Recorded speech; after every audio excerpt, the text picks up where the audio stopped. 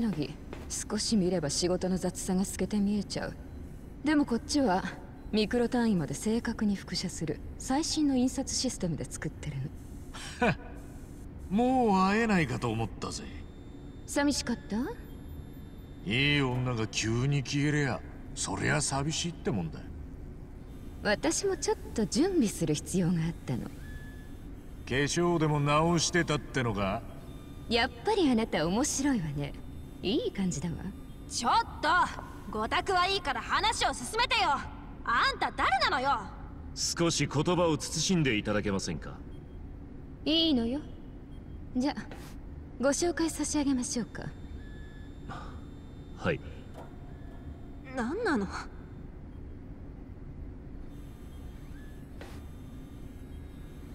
皆さんこちらは孫妃。我がコミジュルの総帥です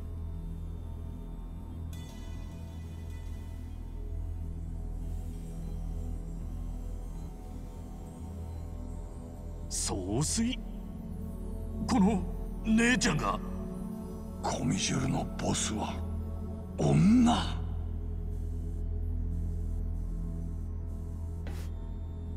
マブチの倉庫で妙な紙の束を見たでしょ箱に詰められた白紙の束。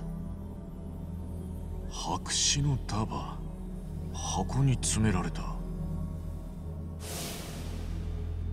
ああ見たよあれはとても特殊な紙なの。大陸の工場で成分を調合されて生成されたものをハンピン・リューマンが取り寄せてる。中国で作られてんのか。なるほどね。そしてここで作られてる日本円も同じ紙なのよ。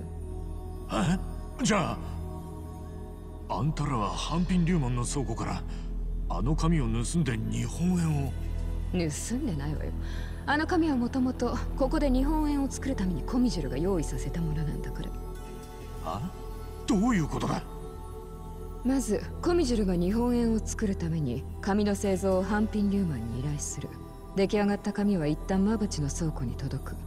そしてハンピン・リューマンの人間がここに届けてるという流れよ。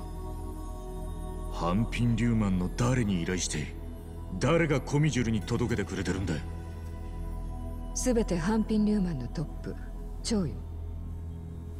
じゃあ蝶はそれを知ってるんだな。もちろんよ。蝶に黙ってそんなことできやしないわ。あの紙は日本円の偽札の材料。じゃあ人民元の方はどうなんだい？あれもコミジュルのビジネスなのかそれともやっぱりハンピン・リューマンの？そのどちらでもない。え？あれは言うならハプニングね。馬淵の部下がある日倉庫に見たことない紙が大量にあるのを見つけたのよ。その男はかつては偽札ビジネスを生りにしていた人間だったの。そして馬淵に提案した。あの紙を少し加工すれば精度の高い人民元が作れる。ってね馬淵はその話に乗ったってまでよ。馬淵が考えたんじゃねえってことか。ふん。よその人間をどうこう言うのは気が引けるけど馬淵はそんなに頭の切れる人間じゃないわよ。いい部下を持ってラッキーだったのは事実かも。ね。蝶は馬淵が人民元を作ってるの知ってんのか？あんたから教えてやんなかったのか？教えたわよ。でも蝶はすでに知ってたわでも見て見ぬふりよ。だって人民元の製造をやめるように指示したとして紙の使い道を部下に聞かれたら蝶だって説明に困る。ましてや日本円製造ビジネスはお金になるから蝶もやめたくはない。それに馬淵の会社の維持のため部下の生活のために人民元が使われてるなら多少は目をつむる。それが蝶の判断なんでしょう。じゃあ馬淵は同じ紙で日本円が作られてることは？当然知らないわよ。しかし知らないこととはいえもったいないことしてくれるよね。あの紙は円をするための特注品。オーダーメイドなのに。オーダーメイド？知ってる？円の紙は三つまたった植物から作られるの。ただし他の原料や配合そして製造方法は日本の国家機密なのよね。あの手触りはそうそう再現できないってわけじゃあなんであんたにそれが作れるんだ？ある筋からその情報は漏れていた。もう何十年も前に。何十年も前？そんな話警察でも聞いたことねえぞ。でしょうね。あなたじゃまだ若すぎるもん。え？ああいや。意外と若くもねえんだが。真に受けてんじゃないっつもそうだからほとんど誰も知らないはずのその偽札を。なんであなたは持っているの？一番。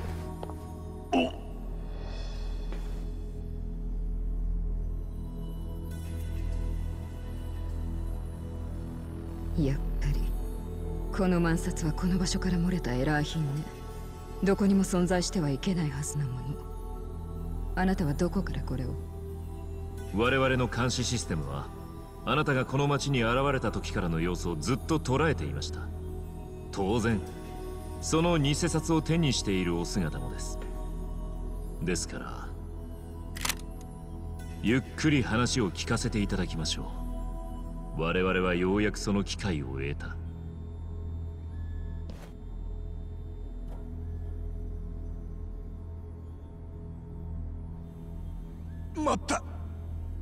情は分かったがよ。そいつは俺にも何なのか分かんねえんだ。本当に何も知らないの？ああ本当だ。私が撃てないと思って舐めてるの？いややるときゃやる人だって思うぜ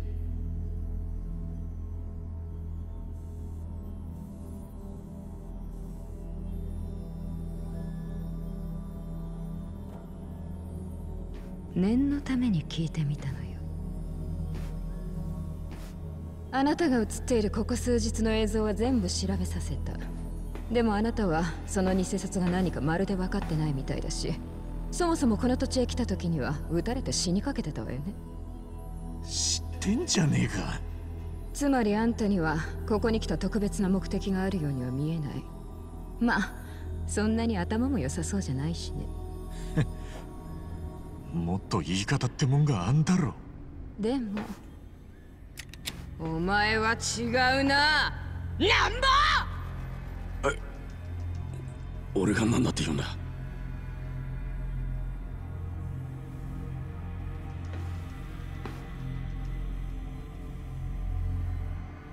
お前が偉人町に現れたのは半年前。ホームレス街からよくこの建物を盗み見してた。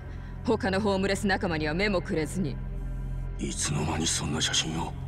なのに偽札を持っていた春日一番とだけは急につるむようになった。なんでだ？難波は村長に俺を手当てするように言われてそれで？じゃあナイチンゲール症候群看護師が患者に惚れちゃうあれ？違うだろう。お前はこの偽札がコミジュルのものだと知っていたな？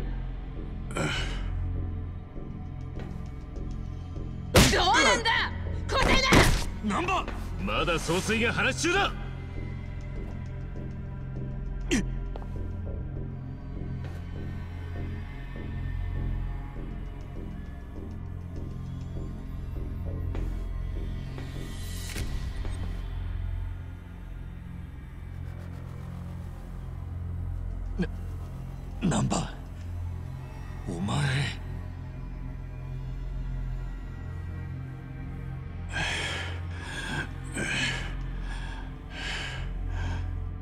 黙ってちゃ話が進まないよ。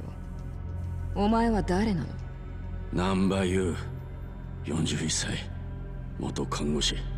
あのねそういうことを聞いてるんじゃ秋葉翔一は俺の弟だ。秋葉翔一？フリー記者の？秋葉はペンネームで。本名は難波翔一だ 秋葉翔一はあんたの弟。よ待てや。何の話してんだ。半年くらい前どっからか偽札のことを嗅ぎつけたフリーの記者がいたんだよ。その名前が秋葉正一。ところが偉人町に入り込んで数日後どこかに消えた。どこかに消えた。当然じゃねえ。その消える直前に俺は弟から連絡を受けてたあいつは自分が監視されてるらしいって言ってた。コミジルの連中にな。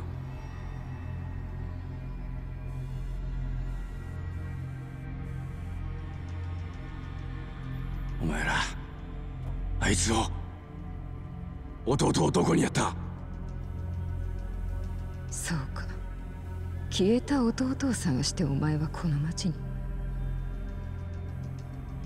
偉人町には肉の壁があると聞かされてた。よそ者がその内側に入り込むことはできねえともな。だから俺はホームレスに化けて彼らのねぐらに潜り込んだ。あそこからならコミジルを近くから監視することもできると考えて。そうだ。でもずっと何の糸口もつかめずにいたお前が来るまではな一番。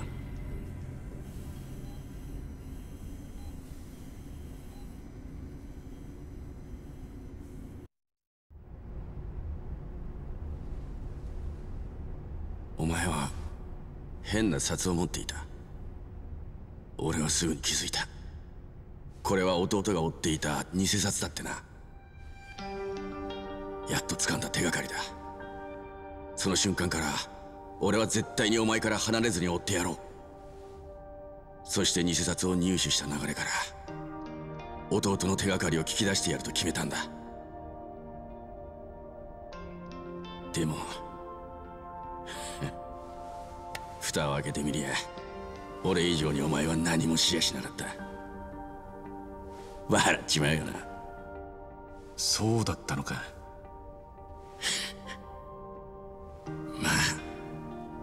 前は嘘がつける男じゃねえってことくらい分かってるさ。偽札のことを何も知らねえんじゃこれ以上つるむ理由もねえ。俺はよ近いうちにお前の前からドロンと消えるつもりだったんだ。だってよだってしょうがねえだろ。ナンバーでもこんなことになるなんて。すまん。一番。すまん。みんな。なんちゃん。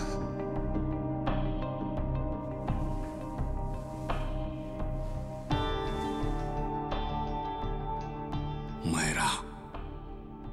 俺の弟をどうした。殺したのか。弟は生きてんのか。死んでんのかそれくらい教えろ。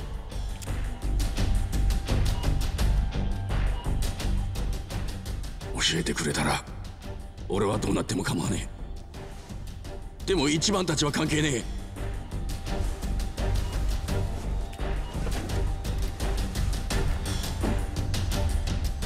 俺を殺してもこいつらだけは助けてやってくれ。頼む。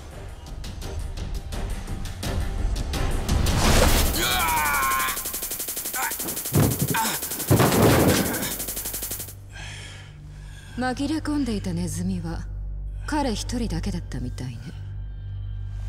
ひとまずあなたたちは客人扱いにする。蝶にも気に入られてるみたいだしね。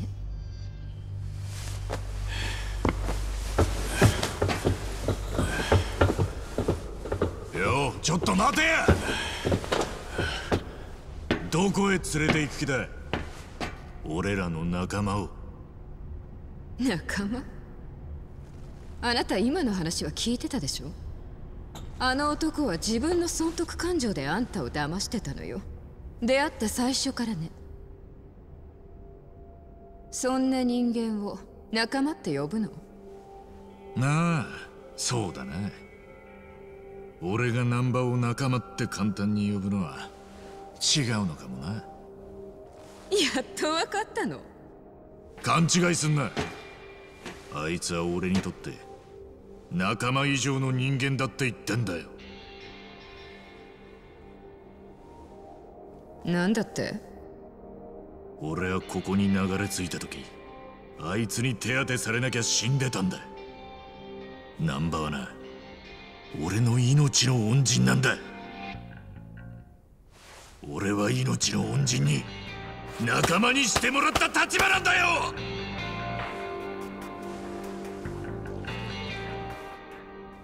難波の目的は行方不明の弟さんを見つけ出すことだ。親兄弟の心配をすることが損得感情だとは俺は全然思わねえ。あんたらよりもあいつの方がよっぽど筋の通った生き方してるぜ！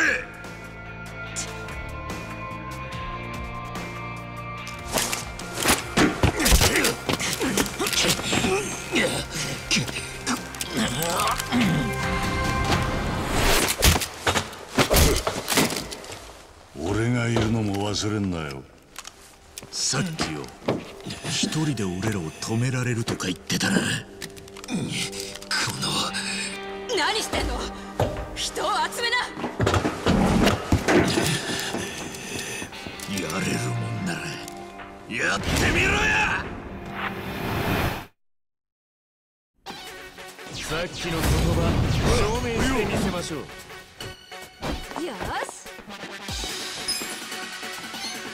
までよく生きてこられたものだ。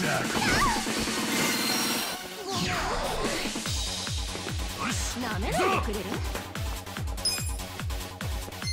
皆さん楽しそうですね。おっしゃ。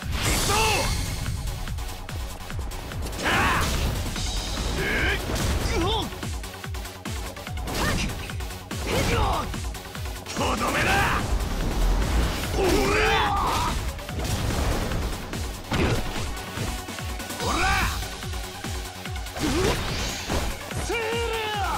れ。どうするかね。行くぜ。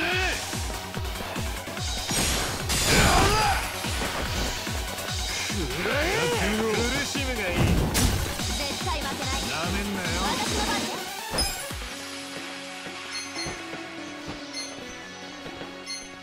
春日とカスって言葉似てますよね。さ助かる。俺の番だな。よっしゃ行く。おっしゃ。俺の番か。やってやよし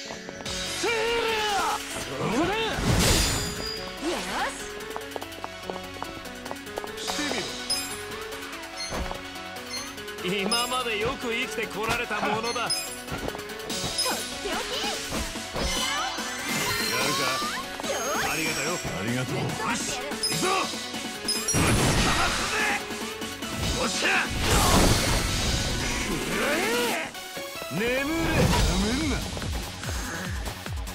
皆さん泥臭いですね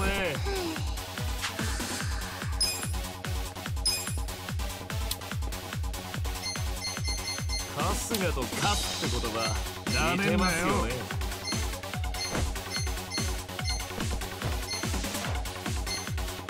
皆さん泥臭いですね。これだ。私の番ね。春日とカスって言葉似てますよね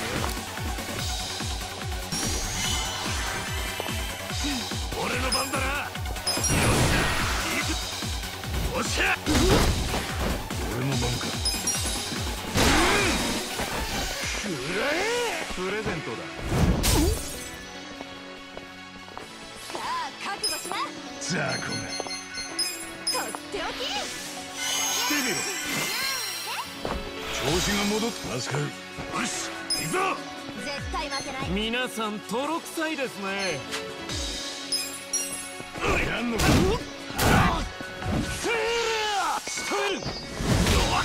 クラクラするぜ。どうするかね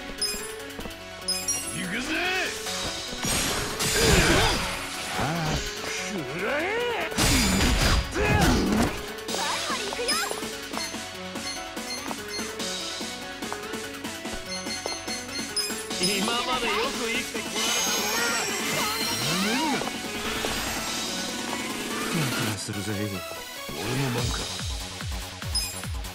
やってやろさ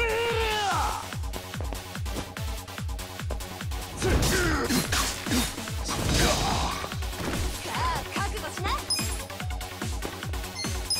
っておき。回復ありがとうこいつでどうだ？どうするかね。皆さん泥臭いですね。行くぜ。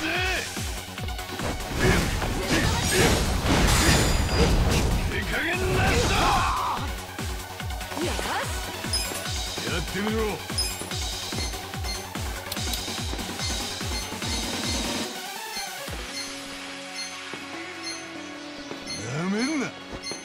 春日とカスって言葉似てますよね。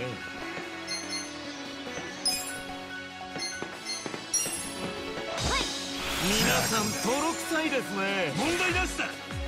俺の番だな。な？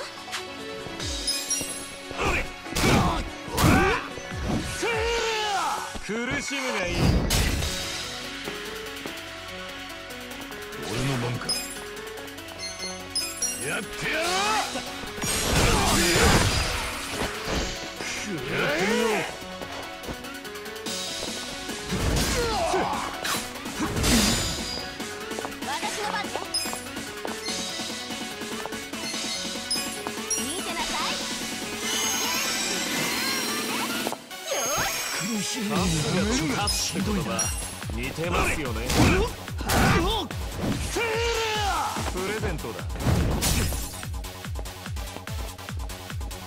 うするかね。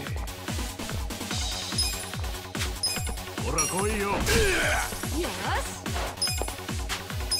やってみろ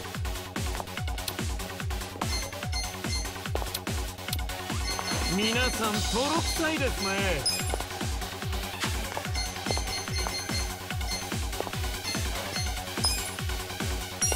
やんのか。なめんなよしんどい。立て直さねえと俺の番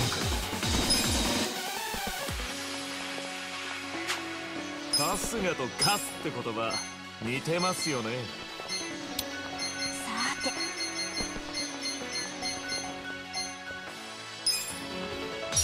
て。やるか。なめないでくれる？苦しむがい私の番ね。い今までよく生きてこられたものだ。手置きよしちょっとしんどい。なやんのか絶対負けない。仕留めるなんとかしね皆さん泥臭い。ですね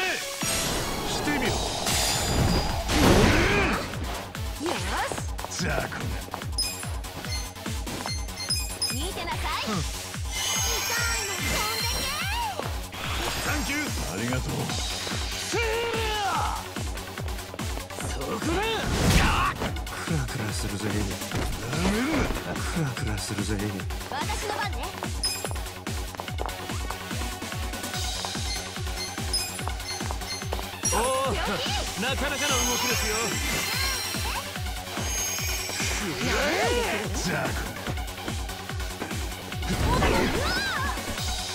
うするかね今までよく生きてこられたものだ